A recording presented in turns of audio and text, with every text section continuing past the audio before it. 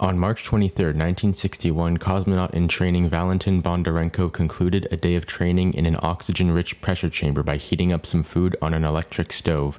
While the stove heated up, he used a cotton ball soaked in alcohol to clean the areas of his body where sensors had been attached. Without looking, he threw the cotton ball into the trash but missed, the ball instead landing on the hot stove. In an instant, the swab ignited, and Bondarenko tried to smother the flame with his woolen training suit. His clothing quickly ignited in the oxygen rich environment. He tried feverishly to smother the flames, too panicked to remember to press the alarm.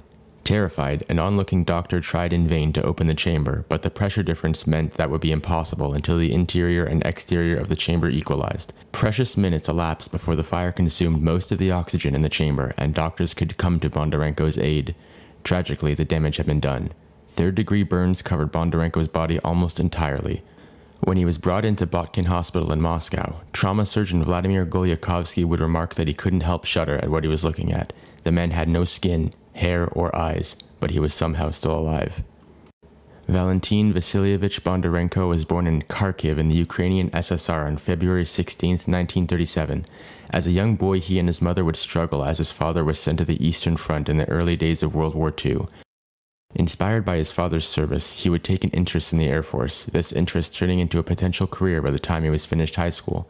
He began his formal education in 1954, married in 1956, became a father a year later, and graduated from Armavir Higher Air Force Pilot School in 1957, the same year Sputnik 1 was launched.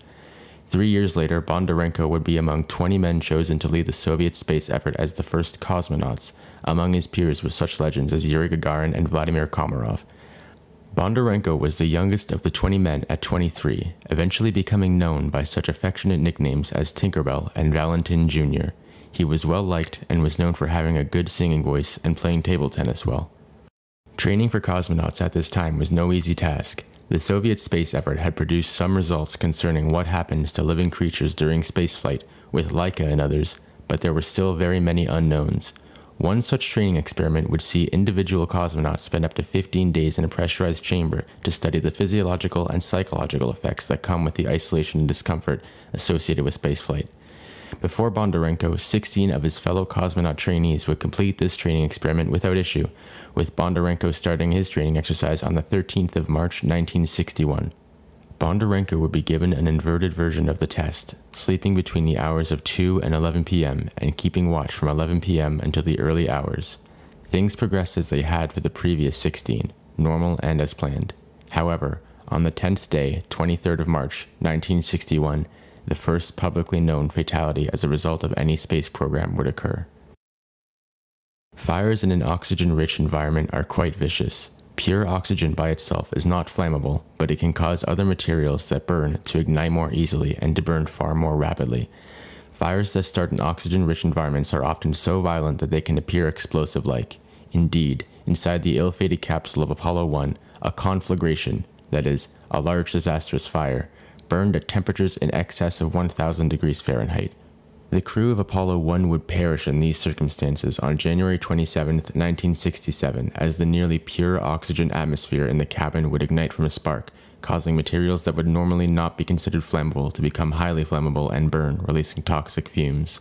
The crew of Apollo 1 would succumb to the flames and fumes inside the capsule in about 17 seconds, from the time the spark occurred until the time that the pressure buildup would rupture the inner wall of the command module.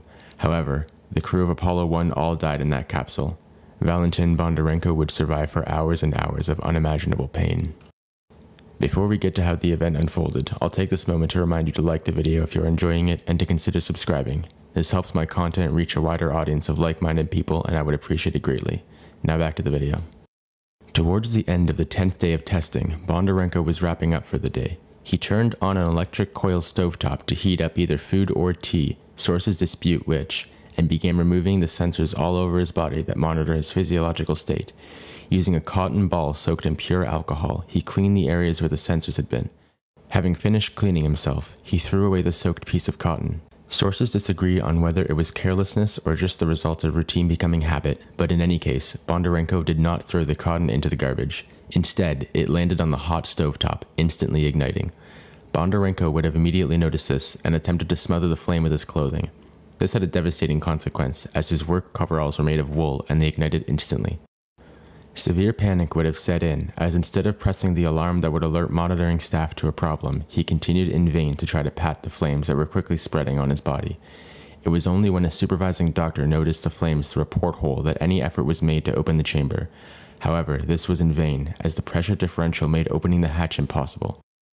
Doctors could release pressure slowly through bleed valves, though this took time. It wasn't until the fire had consumed enough of the oxygen that the door could finally be opened. Somehow, Bondarenko was still alive. Bondarenko was extremely badly burned, but he was alive. He was rushed to Botkin Hospital, where trauma surgeon Dr. Vladimir Golyakovsky was in the emergency room. In Golyakovsky's book, Russian Doctor, he described the experience. A severely burned man known only as Sergeyev a 24 year old Air Force lieutenant, was brought in by stretcher. I couldn't help shuddering, the doctor recalled. The whole of him was burnt. The body was totally denuded of skin, the head of hair. There were no eyes in the face. It was a total burn of the severest degree, but the patient was alive. The only place the doctor could find to administer an IV were on the soles of the feet, as blood vessels could not be located anywhere else in the body. The doctors administered painkillers and medication, but nothing else could be done. Sergeyev was doomed and the doctors knew it, and all they could do was ease his passing as best they could. In the end, Valentin Vasilyevich Bondarenko survived for 16 hours before succumbing to his injuries. News of Bondarenko's death was not published at the time. In an effort to conceal Soviet failures, it is believed that many, Bondarenko included, had their images airbrushed from pictures that included them. This attempt at cover up and destruction of documents resulted in much of Bondarenko's life being unknown to the rest of the world, that is until 1986, when leading Russian space journalist Yaroslav Golovanov would publish the first public articles relating to the disaster. Today, Valentin Bondarenko is remembered as the first publicly known casualty related to spaceflight. He was buried in Kharkiv in present-day Ukraine where his family lived at the time. During Apollo 15, astronaut David Scott left a memorial entitled Fallen Astronaut on the surface of the moon where it remains today.